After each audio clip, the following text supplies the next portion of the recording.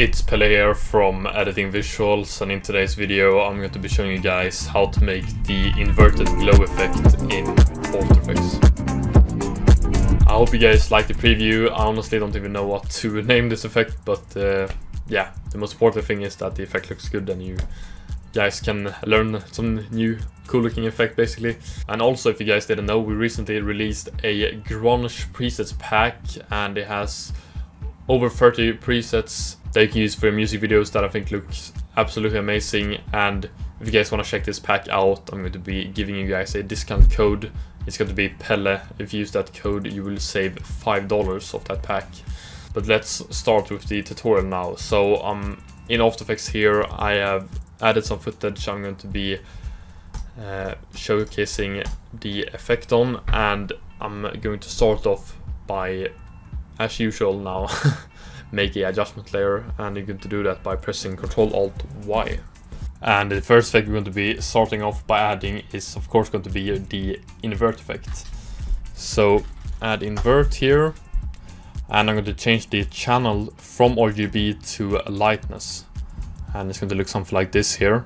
After that I'm going to be adding curves and here it's almost just about playing around a little bit because our clips has completely different lightness and and it's going to look completely different depending on what clip you have.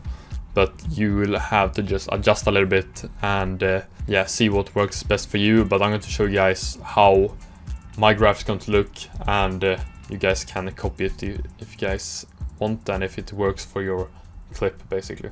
So I'm going to make a marker here drag this one down to something like that. Then you can go up to channel and change to a individual color basically. So I'm going to go to red first, drag it down, something like this. Go to green, drag it down as well, something like that. And now we're going to drag this up to something like that. This is how my uh, graph looks here and this is the result I will get on my clip here. I think it looks very good. After that I'm going to be adding noise.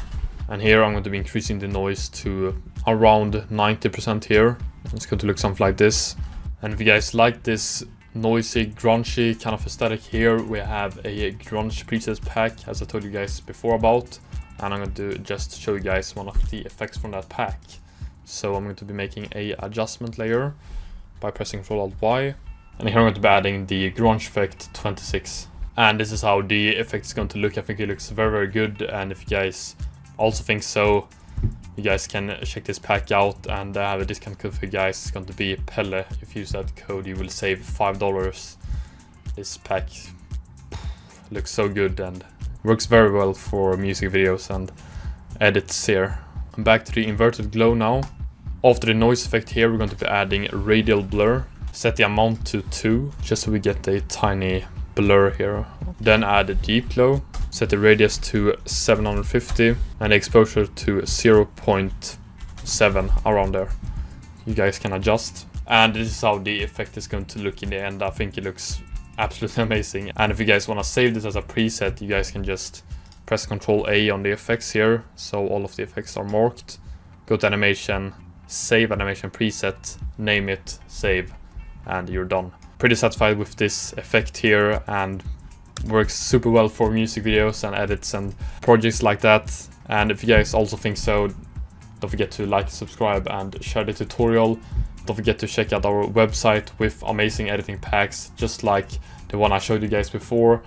And don't forget to check out our socials, especially our Instagram. Trying to post there as often as possible now and check out our Discord server and I will see you guys soon. Take care and have a nice day.